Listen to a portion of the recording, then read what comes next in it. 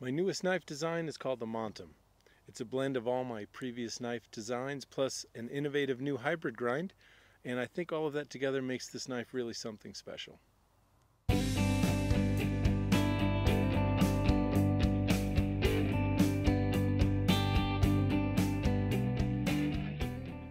A lot of knives come through my workshops and quite often they're either really uncomfortable and sometimes even unusable. And it usually has to do with the handle, a handle shape that's just not designed for bushcraft.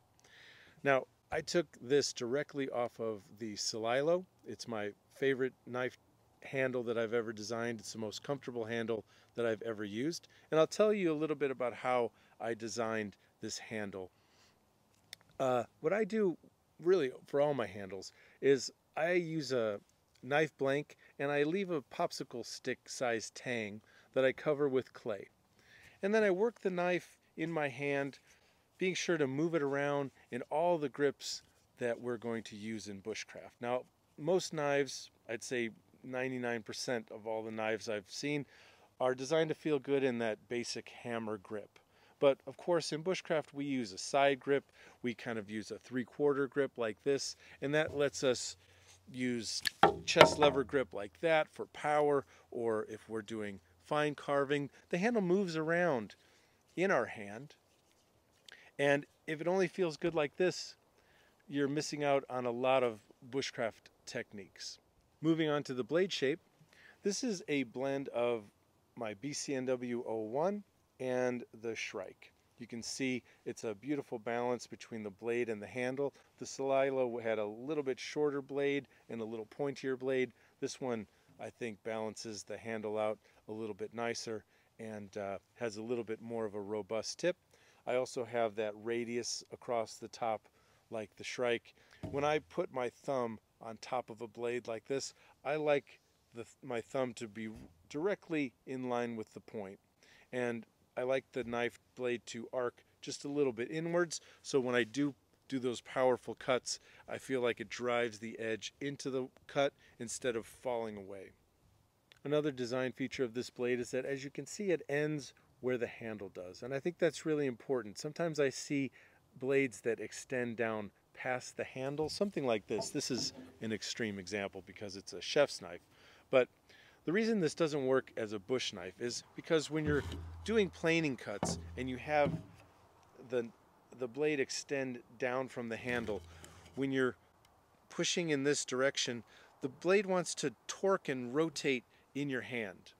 And that just makes uh, less control. It means you have to grip the handle tighter and um, just something to be aware of. These are designed for chopping on a cutting board like this. Definitely the most unique thing between the Montem and my other knife designs is the grind. I've been experimenting with this hybrid grind for a couple years now. Some of my customers call it a flandy because it's basically a cross between a flat grind and a Scandi. So let's look and talk a little bit about grinds so you understand the difference in how this works. This is the cross section of a Scandi. Now it's basically like looking at a knife like that. And what you find is that none of the steel is removed off of the blade uh, flats, and you have one primary grind that goes down to zero. And what you get with a Scandi grind, and why we like them so much for bushcraft, is you can take this down to a really fine edge, but you have a lot of steel back there supporting that fine edge. And that keeps it from rolling and chipping as easy, and uh, it cuts really well. Except when you're cutting 90 degrees into something. You can see this is basically a giant wedge and there's a lot of steel there that creates drag. A flat grind works a lot better when you're cutting straight into something. So let's look at a flat grind. Flat grinds look like this. You can see a, a lot of the steel has been removed from the blade flats. That's where we get that that nice uh, streamlined shape for, for little resistance. And we have a secondary bevel here. This is the part that you would sharpen. So you can see the, the edge angle changes right there. And when you sharpen a flat grind, you're only dealing with that last oh, millimeter or two. So they're quite easy to sharpen. They're easier to sharpen than a Scandi grind for sure because there's less steel. The downside of a true flat grind is that this secondary bevel is so small that, well, I just want to have a little bit more steel back there for bushcraft. And so what we did with this hybrid grind was leave a little bit more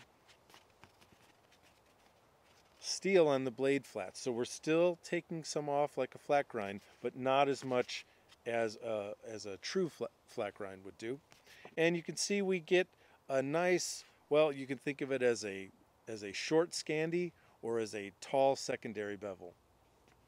But plenty of steel back there uh, behind that edge, so it's, it's very robust, very, very strong.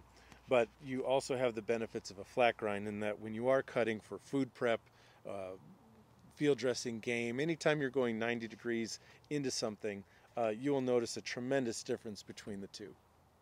I think I'll end it there. I don't want this video to get too long. If you want more of the specs on the knife in terms of the steel and materials and length and all that, it's on our website, bushcraftnorthwest.com.